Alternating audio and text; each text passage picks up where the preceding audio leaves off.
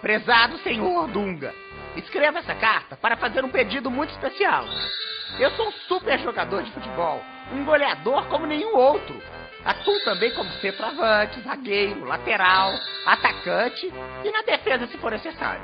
Ah, esqueci de contar que também sou um grande goleiro. Por tantas qualidades, acredito que eu seja um grande reforço para o time que vai representar o Brasil na Copa do Mundo. Assinado Palhaço Popó.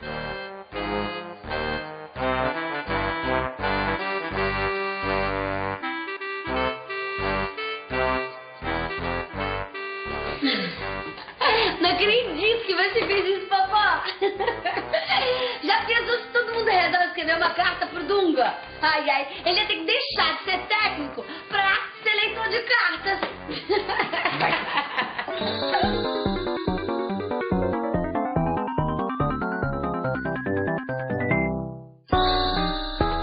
Bem, como mundo aqui conhece muito bem o Popó, nem preciso de dizer que ele tentou me convencer de todas as maneiras que seu plano iria dar certo.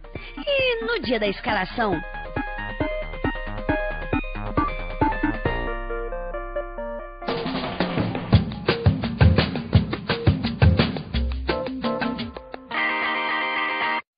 E lá estávamos nós, ansiosos.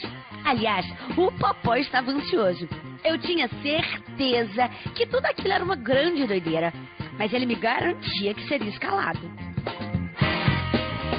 Para centroavante, nós teremos Jadeilson. Para zagueiro, teremos Roquenilson. O meio-campo, teremos Richard Robson.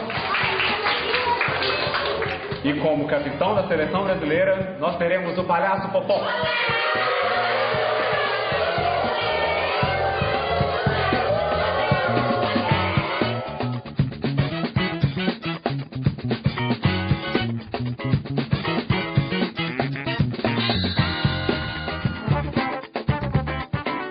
Foi passando e, pelo que eu percebi, o técnico já estava começando a ficar preocupado com a desenvoltura do Popó em campo.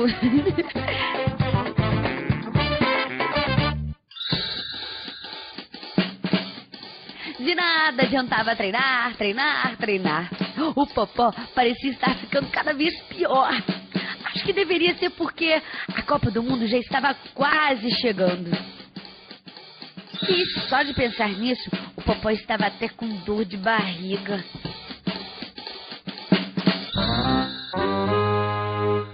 Até que um dia, às vésperas da Copa, ele teve mais uma de suas ideias geniais.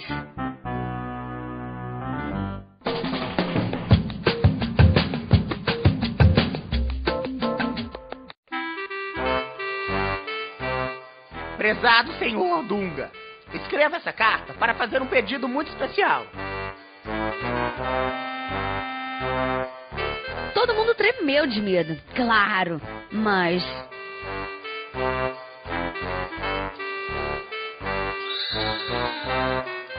Não é que ele teve uma ideia genial. Explicou para o técnico que, apesar de toda a sua habilidade, ele iria abrir mão do sonho de jogar na Copa do Mundo, porque achava que ele tinha vários amiguinhos que também eram muito bons nesse tal de futebol e que não custava nada dar uma chance para eles. Bem, graças a Deus, o Popó teve essa ideia genial! Ou então, adeus às nossas esperanças de nos tornarmos ex-campeões.